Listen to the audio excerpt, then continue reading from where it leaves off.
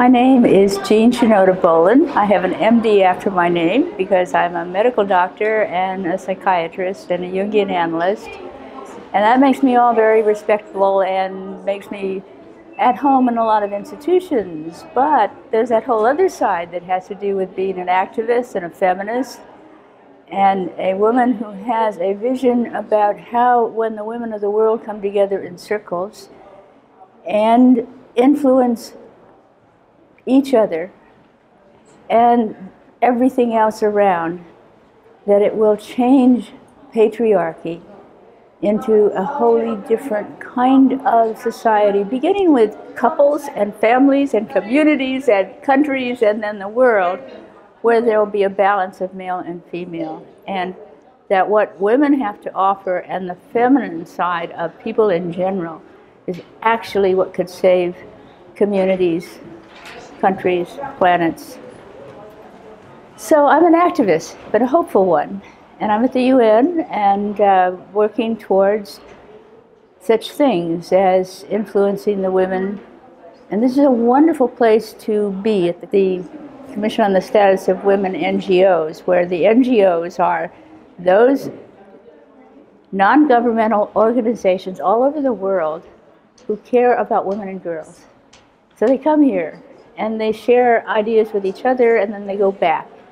Well, ever hmm. since I first started being a feminist, we now have the internet and we now have a capacity to bring what happens here via our little devices and satellite kinds of objects that help this to happen. What inspires us here can go all over the world to, the, to small circles or big conferences.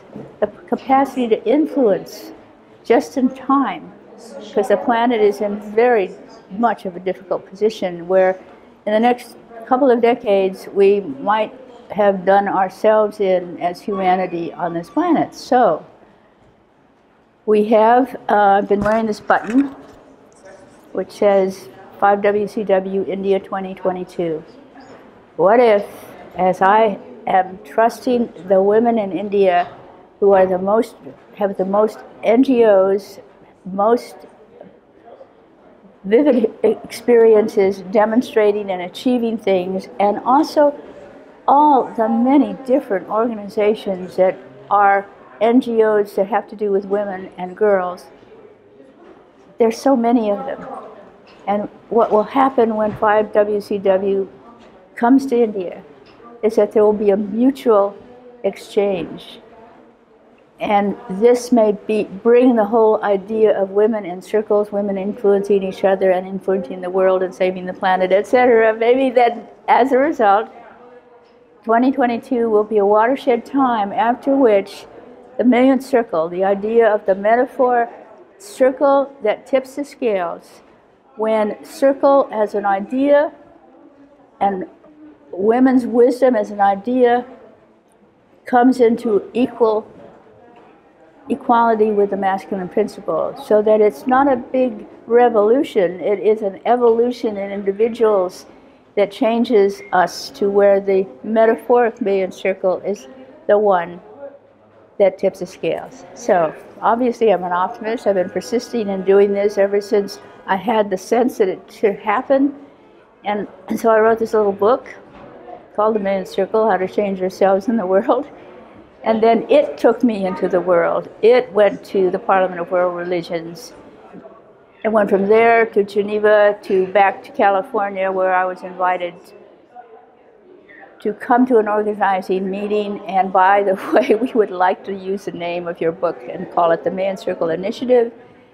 And attending that meeting were heads of NGOs and the California activists, feminists, and we're an unusual bunch in Northern California because you've always had a spiritual basis. It's like the, the feminists in the East are very much more political and into economics and, and things in the, than the Northern California, San Francisco area, uh, which was really the place where women's spirituality and women's circles with the spiritual center got more and more um, into the world through what we were doing. So, what does this has to do with the archetypes in us? Well, for one thing, if you have an invitation to join a women's circle and you are attracted to the idea almost immediately, chances are that you have a sisterhood archetype in you. And the sisterhood archetype is the ar- archetype of Artemis, the goddess of the hunt, goddess of the moon, meaning that she can aim at a target and hit it. It's a target of her own choosing. And the moon side has to do with a, quality of mysticism, that what you see under a moonlight sky of the, of the planet and everything in it has a natural sense of oneness. And that's a natural kind of Artemis quality. Plus, she is the goddess of the wilderness. She's off the beaten track. She is exploring. She's, and in her mythology, she traveled with a group of nymphs, or, or lesser feminine divinities often. And she was the firstborn of twins. So she's born first, and then she watches her mother go into the horrendous labor. And so goddesses are not like ordinary folks. She becomes the midwife to her mother. And she midwives her brother, her twin brother Apollo, into the world. Well, needless to say, if you're the oldest, if you're a goddess that's the oldest of twins, you're not all that impressed with male gods as, in general. It's just like you're, you, you, you come in with a sense of equality. Plus, as it turns out, she had a good relationship with Zeus, uh, who she, by the way, didn't meet until in her mythology until she was about three or four. And then she was brought by her mother to Mount Olympus to meet the people that were the people, the beautiful, powerful people on Mount Olympus. And the story is by a poet named Callimachus that she sat on his knee and he beamed at her and was delighted and said, Little daughter, having a child like you makes it worth Hera's wrath. And then he said, What would you like? I will give you whatever you want. And if you start out in this world as an Artemis, you have a mind of your own from the time you were a little girl. You also have a sense of justice. You're the little girl who, when your brothers are given more freedom than you, you're the little girl who says, It's not fair. And essentially, these qualities are what we see in women who are in the world trying to change it, to make it a fair world, to make it a world where, where uh, vulnerable animals and girls and children are looked after, because that was who she looked after. She, she was not only just out in the wilderness, but she was the, the patron goddess, so to speak, of the, the animal, the young of all living creatures, humans and others.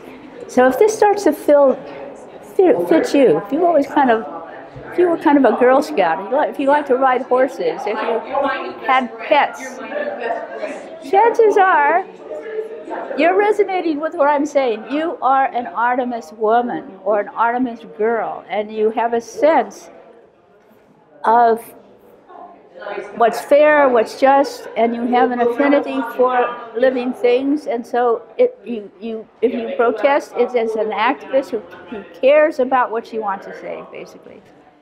Okay, so then when you are a woman who's a professional and who goes to national sorts of meetings and that sort of thing, you'll find that there are, the women there kind of on your on your CVs, we all kind of look alike. We've all been accomplished. We've all had a proper education to have our positions and so on.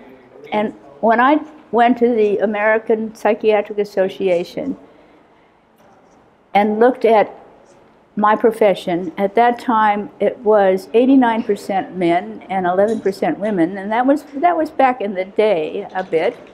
So it has changed. However, what was interesting for me was it helped me to see the difference between women who are naturally Artemis archetypally and naturally Athena archetypally. Now, Athena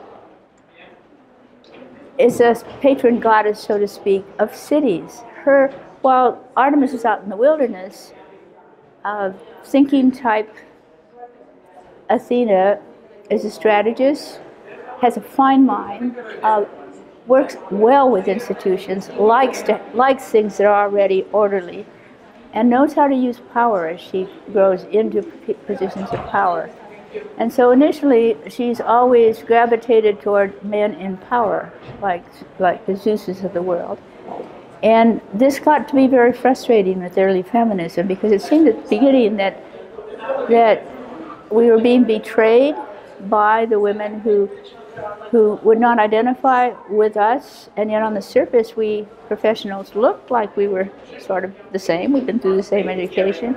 And I came to realize how it is that there's an archetypal shift. It, there's a, we're born into the world with sort of archetypal strengths that are like all human abilities.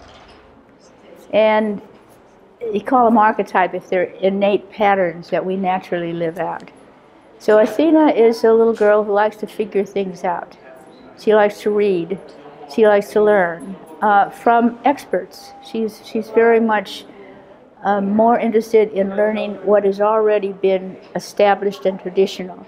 So she starts out being a, a fine citizen. She doesn't understand activism at all until she discovers, often later in life, and often as history has changed, decades later from where, where feminism began, she discovers, uh, yes, she was found it easy to go up the corporate ladder up until she ran into a ceiling where she found that she felt equal to the men that she worked with in about strategy power. But then when they did their men's all men's thing, she finds that she is not treated she's treated as different. She doesn't think of herself that way. Um, well, she may actually, but she doesn't think that that that it's that they will put her one down just because she's a woman. Because she has tried to separate herself from just like all women. She sees herself as the exception. And then she finds that she's treated. No matter how high she achieves, there's some place she learns that she's treated just like a woman. So that's a wake up call. That's when she decided maybe there's something to feminism after all. Now, Athena Athena is, uh, it, it's really interesting to me to have explored their symbology and what was uh, associated with them and what they wore out in their costumes of uh, ancient Greece so that you could identify them by what they wore or carried. So here we have Athena wearing, most famous wearing armor, and with a helmet showing her face, and often uh, holding a spear in her hand. I mean, she is a warrior. But the symbols also means that she uh, guards her tender feelings. She is armored. She's armored intellectually. So rather, in it, probably started early in life when she trusted and was hurt. And then she put up her intellectual defenses and her achievement and uh, marched into the world. That's often what happened to Athena earlier in life. Um, her symbols are the owl, which is uh, wisdom, and, and Athena grows into that, that area of wisdom, and the, and the capacity to fly over and see the whole picture. That's in Athena.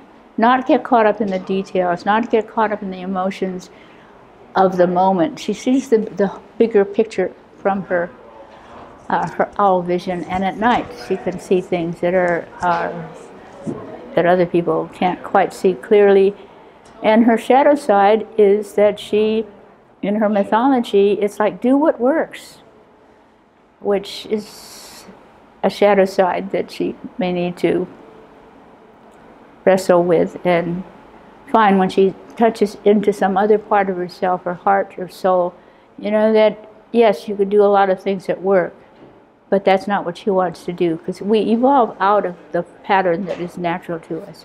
And Athenas do. And when they do, they're wonderful. Um, for feminists, they're, they're wonderful companions because they can figure out strategy and things like that. Meanwhile, there is Artemis, whose symbols are like the bow and arrow that she can aim for a target and hit it. She can persevere because you have to learn to use the vision to, uh, as to what you want to hit. And that's why those of us who went to medical school or law school or a lot of other schools that require um, a lot of training have had to have a certain capacity to aim for a target, to focus on what it is that we uh, wanted. And, and um, Artemis has all these animals as symbols because, after all, she is the goddess of the living, of all living, the young of all living things. But she's got, some of them are rather powerful, like the bear, the mother bear, so that she, when an Artemis woman becomes a mother, or even if she doesn't become a mother, she has a bear maternal quality to protect the young. So you don't mess with mother bears, and you'd better not mess with a furious Artemis either, who, in protection of something that truly matters, stands up to. Uh, speaks truth to power pretty easily, actually. So that's a short kind of, you know, you've got one that, that knows the streets and the city and was associated with civilization in the city, the Greeks and then the other who was associated with the wilderness and new explorations. Athena was the patron goddess of the male hero. There weren't female heroes that she stood behind, but there sure were a number of men that she stood behind. Um, so you can kind of see the difference between the two. Uh, and the thing about archetypes is that all of them are potential in all of us, but some of it, some of them are inherently stronger from the beginning. It's like talent. All human talents are common to all of us, but not everybody has a real gift of music or of art or of intellect or of athleticism or something like that. You, we all have the possibility to develop parts of ourselves that are human development parts, but that which is innately in us can come to, by the way, rule us. It, they can come to dominate our personality, so we're kind of one sided folks. So you can be a one sided Athena or a one sided Artemis when what's more natural is you grow through different ones at different times and uh, find yourself a whole person who has come here for a reason. And the, the idea of, of uh, that, that goes behind all of my writings really is a connection to what Carl Jung called the large S self. That we have a connection with something that is sacred and spiritual and has been called God, Goddess, uh, higher power, Tao, lots of things. It's more than our ego can ever fully grasp. It gives us meaning. So when we connect with the archetype that is deep within us, it also connects us with that deeper layer. And this, plus the archetype of the self, gives us a sense that we're here for a purpose, that we're inherently spiritual beings on a human path rather than human beings who may or may not be on a spiritual path. And what that does for us is make us feel that we belong here and we have a purpose here in this time. And given that we have now had since the late 60s. From the late 60s until now, there has been an influence of feminism. There's been a generation of, of feminists who had who chose partners as equals and had children that they raised boys or girls to be to see each other as equals. And so as we tilt into the 21st century, we also are facing the potential of the end of the planet as we know it and humanity as we know it. And it is like when Artemis and Athena come together to do things such as saving trees and children and um, empowering women as mothers and as choice makers. Now, now, the planet needs us um, it needs us to be whole human beings who have made choices in our lives, and it includes whether we are mothers or not. Uh, we can choose not to if we have the power to do so, which makes a huge difference on the population of the planet as well. So, Athena and Artemis together with brother environmentalists and and men who are really the emphasis on brother rather than father over. The, the fate of us all are in the hands of certain archetypes, and I'm just emphasizing two of the many that I've written about in Goddesses in Every Woman and Gods in Every Man, because we have an archetype that is also contrasexual. So mine it happens to be Hermes, the messenger god. So that's why I can talk into this camera and use words. It's, it's uh, Artemis, which is my primary archetype, and which I wrote a book about, um, doesn't use words. All kinds of activist, good causes, spiritual callings exist in the world. How do you choose them? The way to do it really is from inside out something comes along and you respond to it and it's meaningful to you and you care about whatever this cause is.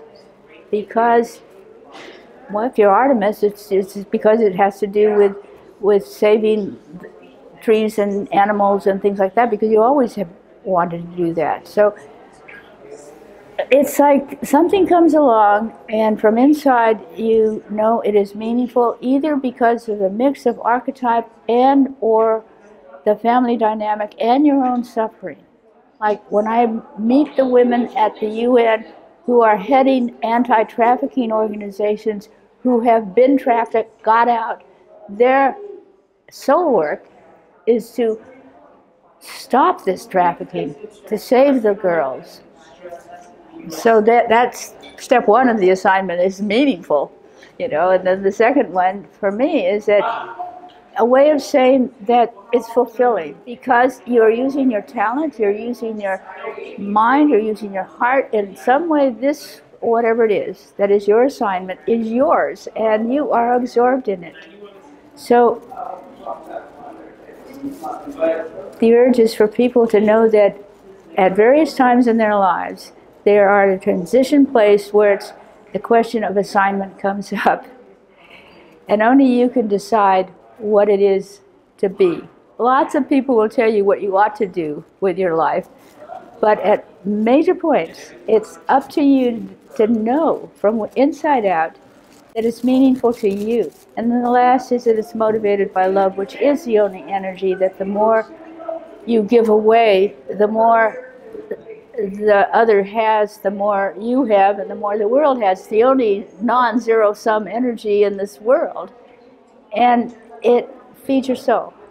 And there's something about we came into the world in a as a vulnerable little baby, and we came in with a soul. So we came in essentially as a spiritual being, born into human form, and we have we have the the journey to make, which has to do with the growing soul and making a difference inside and out. It's good work.